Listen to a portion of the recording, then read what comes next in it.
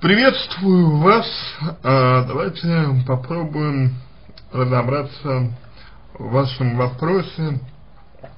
А, значит, вы пишете, в последнее время реже стали общаться с парнем. Меня это беспокоило, и я пытался выяснить, в чем дело. В итоге происходили ссоры, и он говорил, что все хорошо и общается нормально. А, ну, собственно, дальше вы пишете о ссорах, об определенного типа ссорах, я не думаю, что стоит это а, повторять. Значит, есть два момента. Первый момент это то, что вы э, в последнее время стали реже общаться. Значит, э, ваше поведение в этом э, вопросе, в этой ситуации, оно не совсем э, правильное, потому что Мужчины не любят, когда, когда на него давят. Мужчины не любят, когда э, женщина требует от него э, внимания больше, чем он может ей дать. Значит, мужчина также не любит, когда женщина постоянно, вот, ну, постоянно, как бы, э, источает негатив по поводу того, что он ее, не обращает внимания и так далее. То есть я понимаю, что это вас беспокоит, но я не понимаю, почему, почему это беспокоит вас. Ведь если вы любите человека, если вы его, ну, если вы желаете ему счастья, если вы хотите, чтобы у него все было хорошо, наверное, наверное, наверное, вам желалось бы, чтобы а, у него а, все-таки было действительно все хорошо. А если он э, вам не пишет, если он вам не звонит, значит получается, что в данный момент времени ему без вас, условно говоря, более счастливо, чем с вами. И, к сожалению, к сожалению, а, такова жизнь. Если для человека счастье сейчас не вас, то вам, как любящему человеку, желательно бы это принять. Но вы почему-то этого не принимаете. И вот это самый главный вопрос, который вы задаете. Самый главный вопрос, который, ага, ну, о котором нужно разговаривать. Почему вы не принимаете человека, Почему вы не принимаете его выбор? Ну, не хочет он с вами общаться.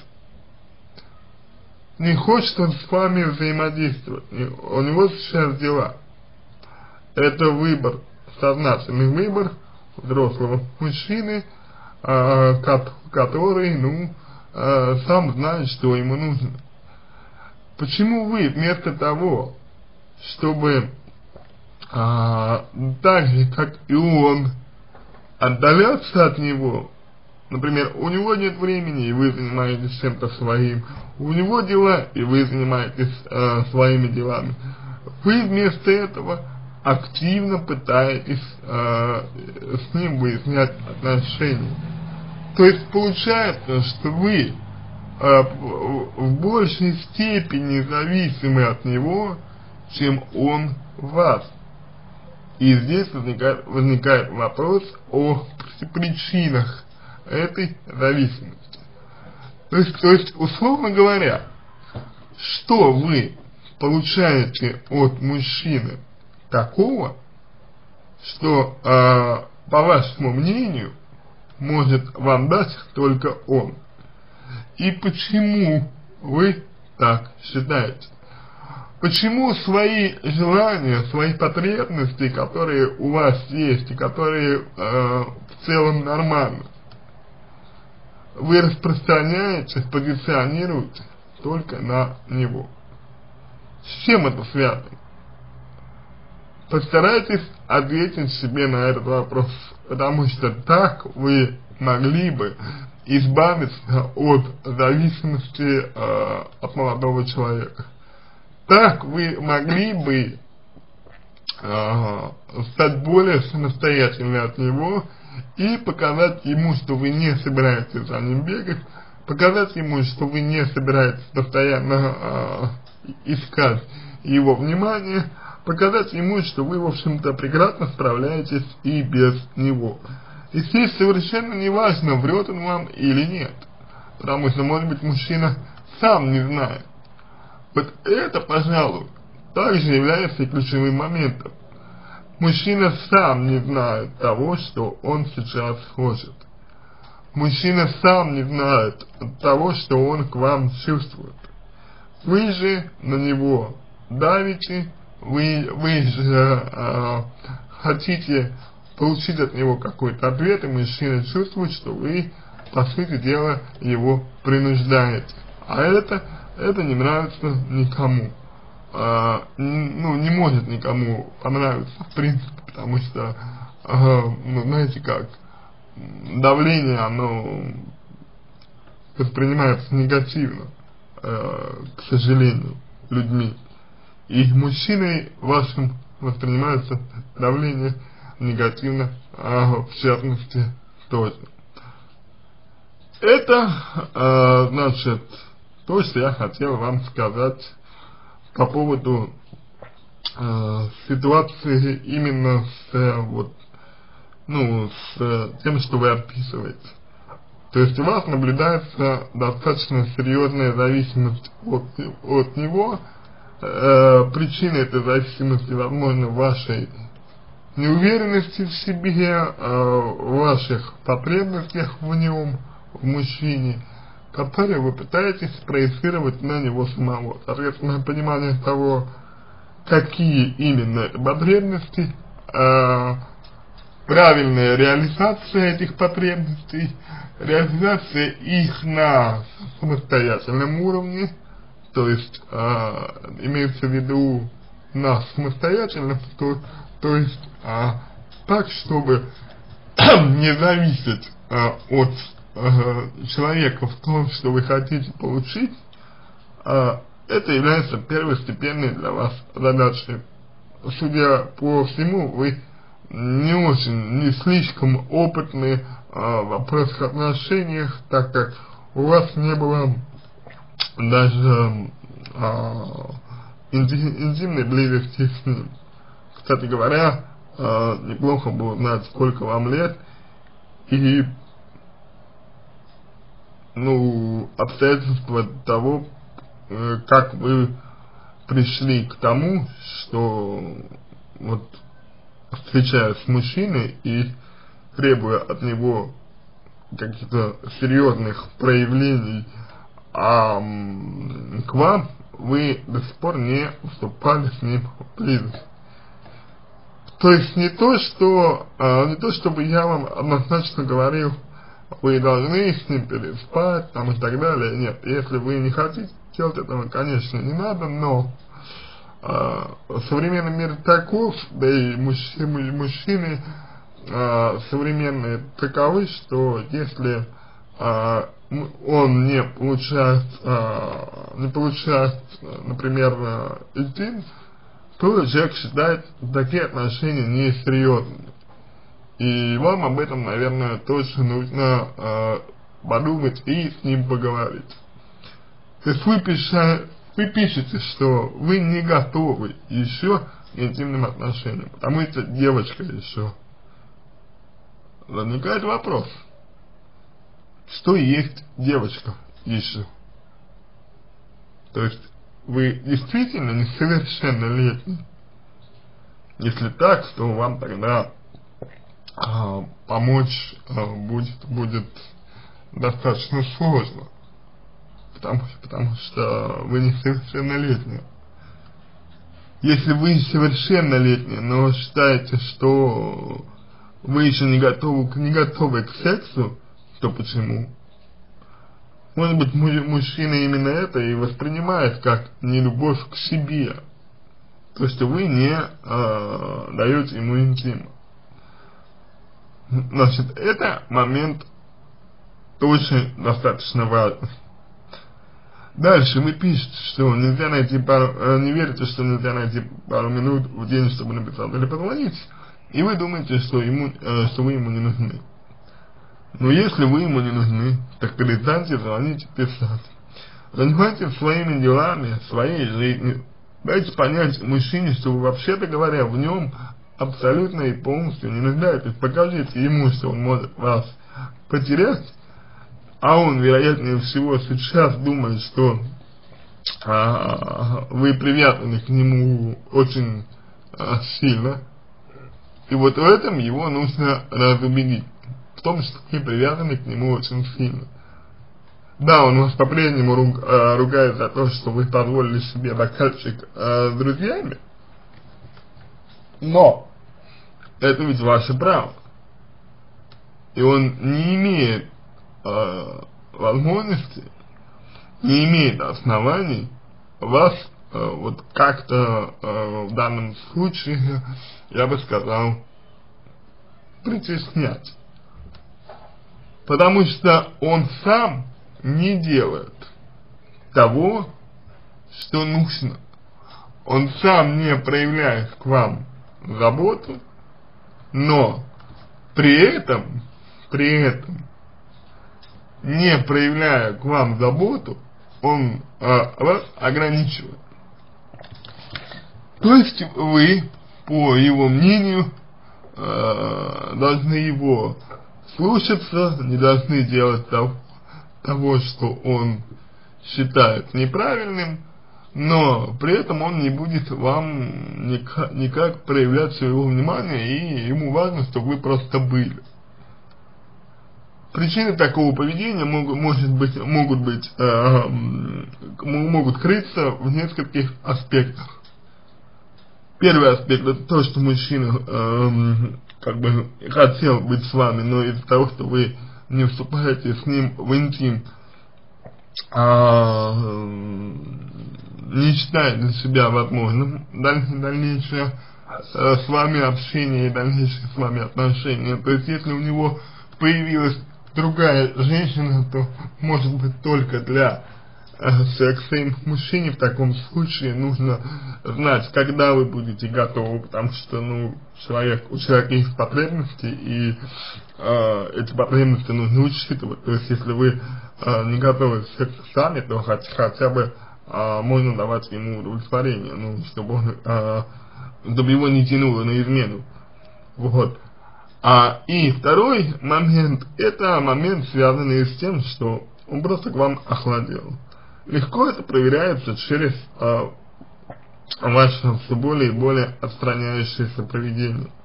То есть не нужно все ссориться, не нужно кричать, не нужно постоянно выяснять отношения. Это ни к чему хорошему не приведет. Вам нужно просто-напросто сказать ему один, один раз, вот ты знаешь, э, дорогой, я не получаю от тебя того внимания, которое мне нужно. И я, безусловно, понимаю, что у тебя дела, понимаю, что у тебя заботы, понимаю, что ты занят и так далее.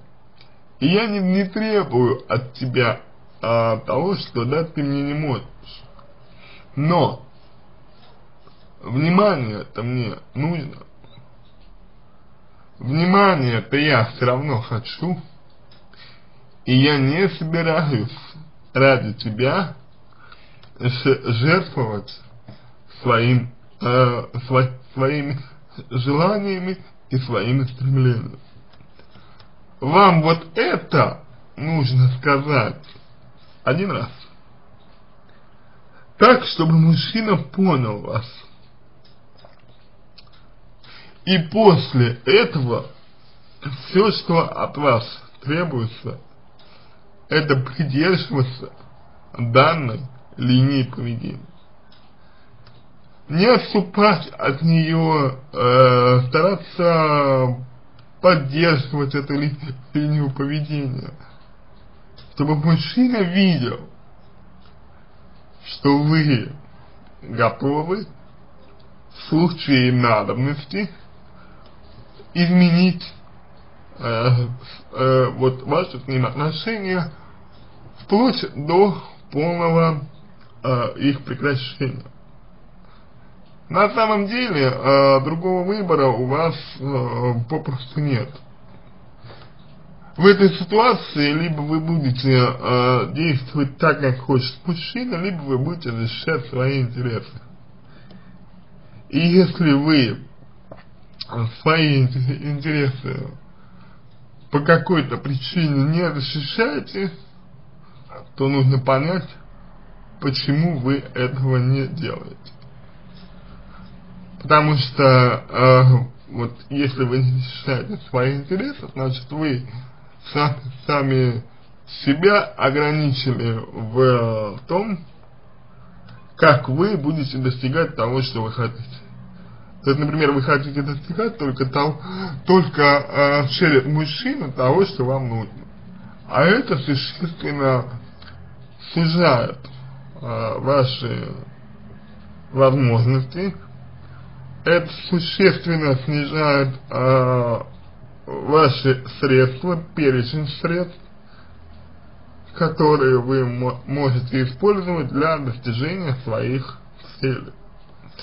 И получается в итоге, что цели у вас страдают, цели не достигаются, вы чувствуете себя брошенной, чувствуете себя ненужной, и в действительности это связано не с тем, что вам мужчина врет, а с тем, что вы сами себя ограничили в средствах достижения, э, в средствах решения задач.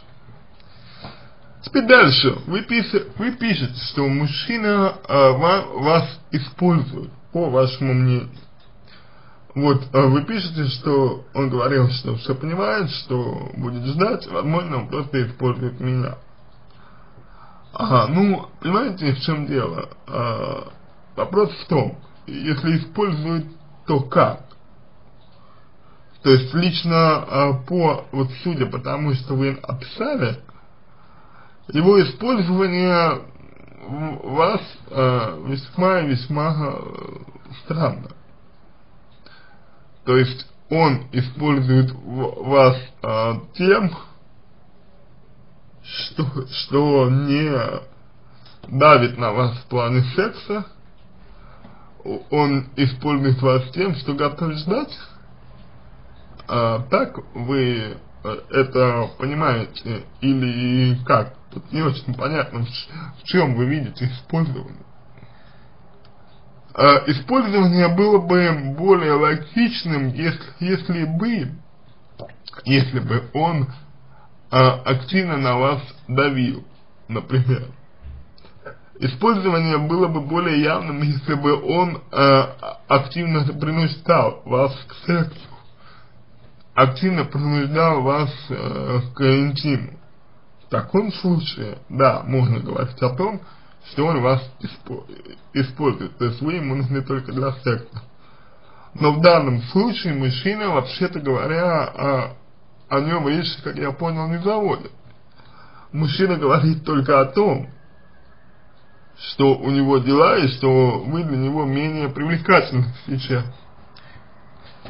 Да, это может быть, конечно, из-за секса, но в данном случае он вас не использует.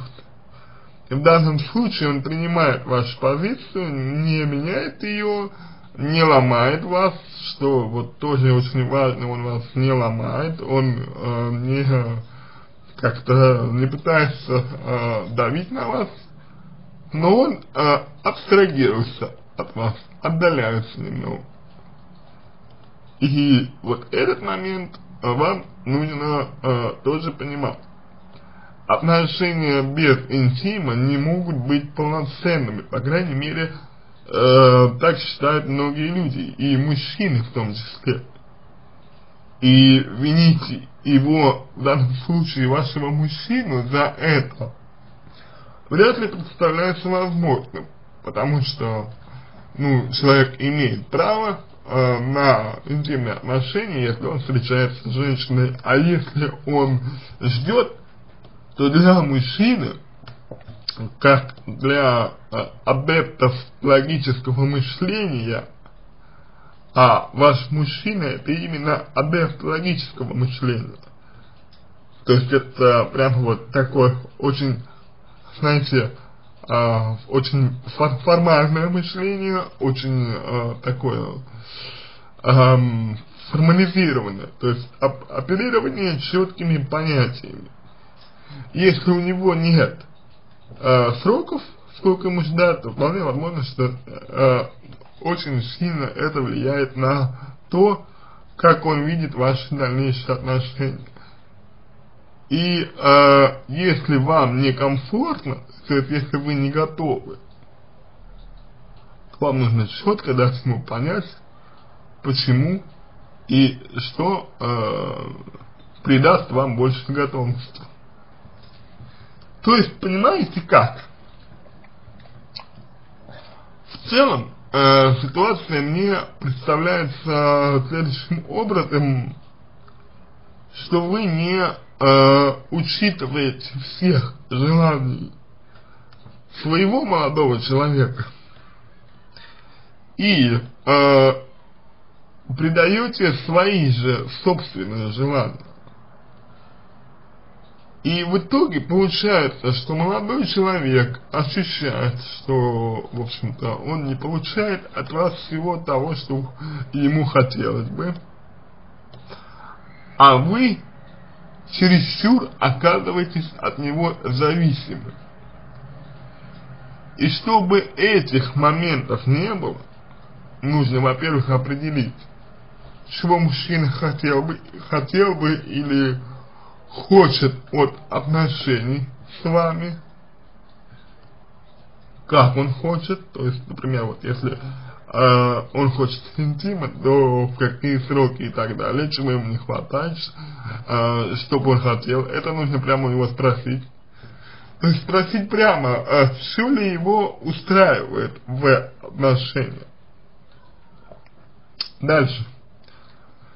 Ага, дальше я думаю, что можно говорить о вас. То есть а, речь идет о том, чтобы вы сами свои собственные желания не ограничивали только мужчиной. Чтобы вы двигались куда-то, развивались, там, работали над своим личностным ростом, над а, тем, чтобы идти к целям, которые а, у вас есть и так далее. Чтобы вы получали то, что вам нужно, не только через молодого человека. Чтобы он не расслаблялся так, чтобы он э, отдавал себе отчет, что может вас потерять. И вот тогда, если вы сделаете все вот эти вещи, я думаю, ситуация нормализу, нормализуется и придет в норму. Если мужчина вам врет, и если с вами он быть э, в действительности не хочет, то при более э, ярко выраженном, как бы отдаленном, абстрагирующемся э, поведении, при поведении, э, при котором вы от него абстрагируетесь, он покажет вам свое нежелание вас завоевывать.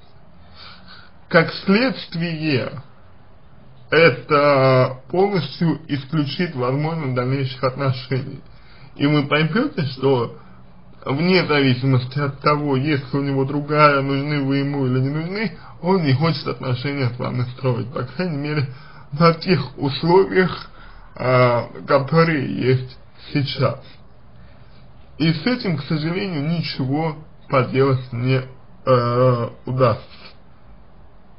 Если мужчина так решил и не хочет э, ставить вас, грубо говоря, перед фактом, да, то есть он не хочет говорить вам, что вот э, его что-то не устраивает, а он предпочитает э, тянуть э, резину, например, и э, держать вас э, в определенной неуверенности, то хорошего в этом нет ничего.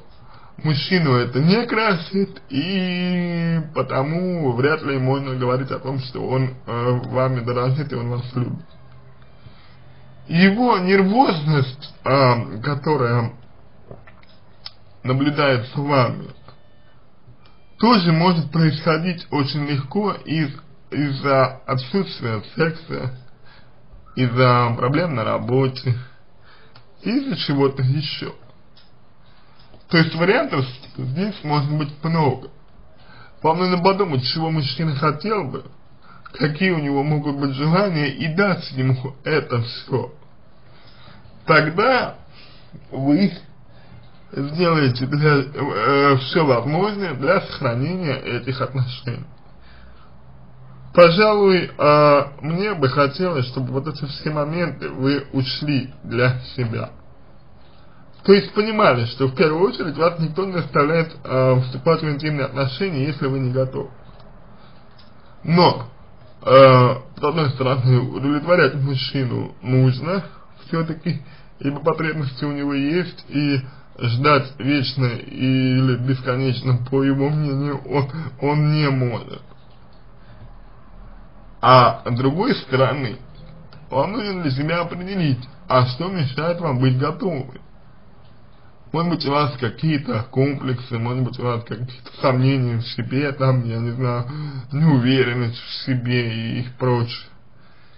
Если есть какие-то препятствия, то с ними, может быть, даже а, нужно поработать. Это тоже важный момент. Дальше.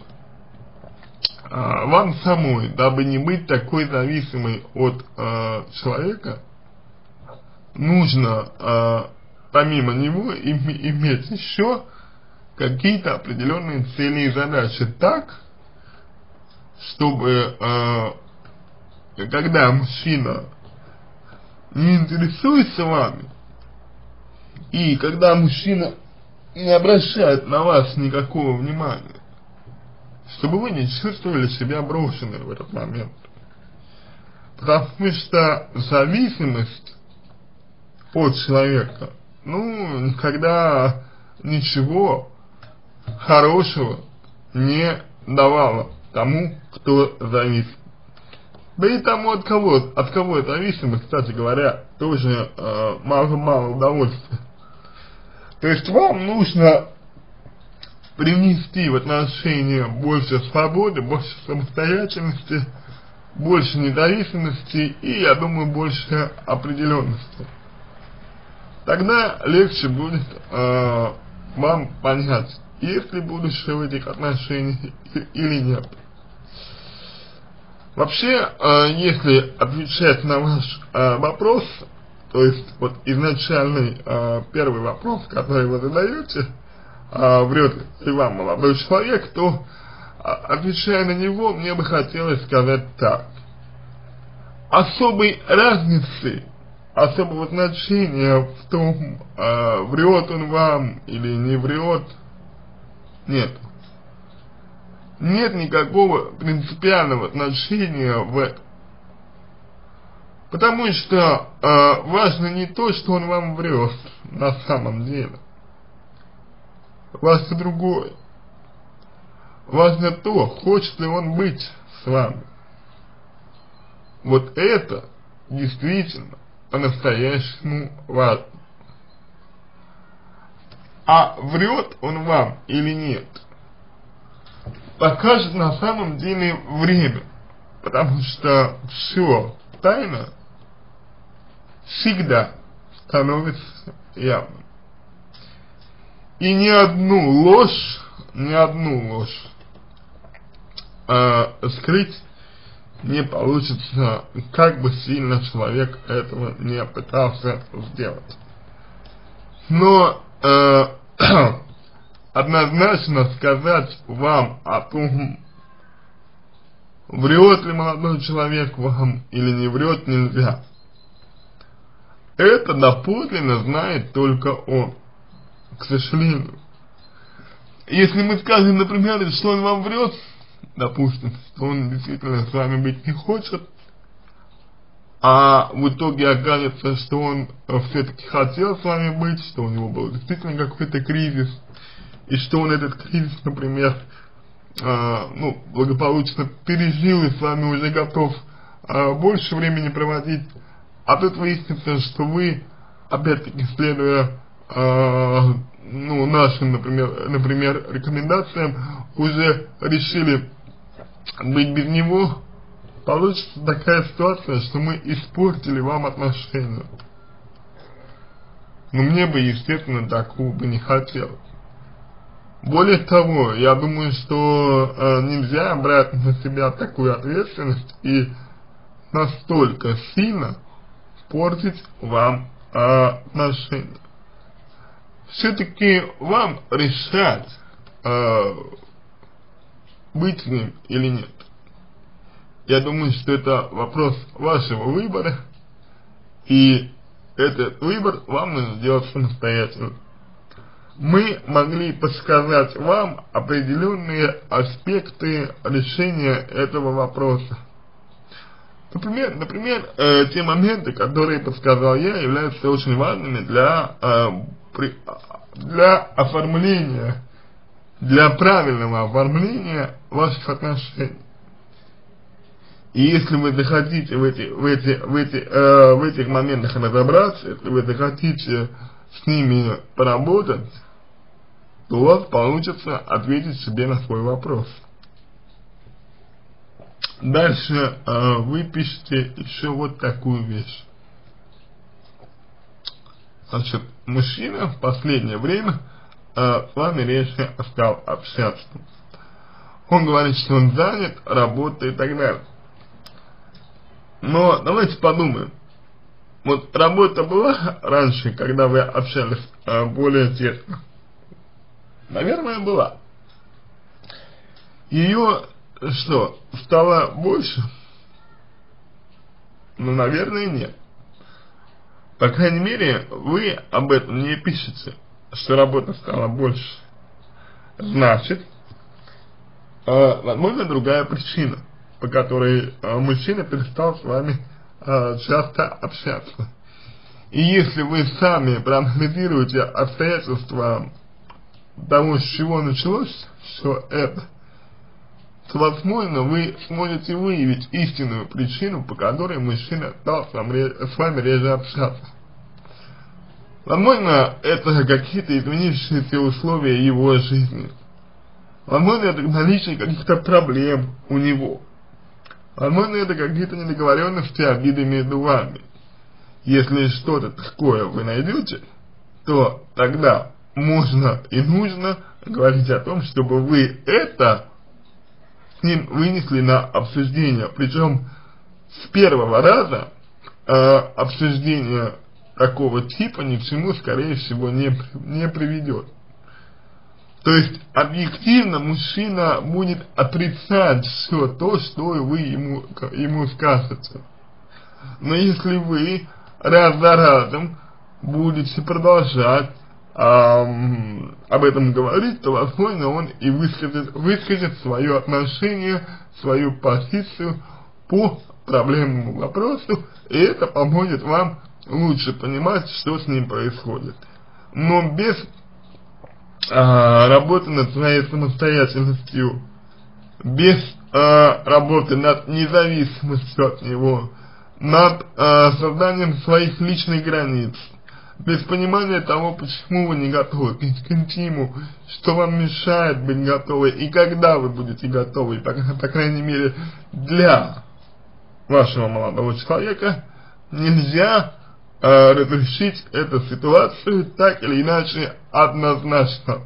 По той простой причине, что у мужчины нет у самого четкого понимания того, как он видит ваши отношения и видит ли он у них будущее. Говорить о том, что у него другая, ну, э, я бы не стал это предположение. Ро, ро, э, равно как и предположение то, почему он так себя ведет можно только опираться на те факты, которые вы предоставили, а они достаточно серьезные, чтобы а, их игнорировать. Если вы мужчине представляетесь такой вот, а, знаете, недотрогой, а, которая требует от него внимания, но при этом по его мнению не дает ему самого главного, то это нужно менять. По крайней мере, в глазах мужчины нужно постараться предстать другой. Например, объяснить ему, почему вы не готовы, чего вы боитесь. Например, показать ему, что вы работаете с тем, чтобы стать готовым. Ну и так далее. То есть важно изменить взгляд ваш собственный на себя, и после этого важно изменить взгляд на вас со стороны мужчины. Тогда вы получаете все шансы получить то самое искреннее отношение э, с его стороны и ответ на свой вопрос. Потому что если он вам врет, он не будет бороться за ваши отношения. Он не будет никак реагировать на то, что вы ему говорите. Он никак не изменит своего поведения и никак себя не будет проявлять. В ответ на вашу на ваше отдаление от него, в ответ на вашу самостоятельность, в ответ на ваши попытки ему что-то объяснить и так далее. И в таком случае, если человеку это все не нужно, то не нужно и вам. Потому что получается, что отношения вы тянете одна на себе. Хорошим, хорошего в этом нет ничего. А если у вас получится изменить его взгляд, и вы увидите, что он по-другому стал к вам относиться, то в таком случае, конечно же, можно говорить о том, что, что он действительно вами дорожит. И никого у него нет, и просто могут быть, могут быть временные проблемы э, в жизни. На этом, я думаю, Александр, можно закончить. Я надеюсь, что помог вам. Если какие-то вопросы у вас остались, буду рад помочь. Обращайтесь в личку, э, пишите, помогу вам. Если э, вам понравился мой ответ, буду благодарен, если сделаете его лучшим. Желаю вам всего доброго и удачи.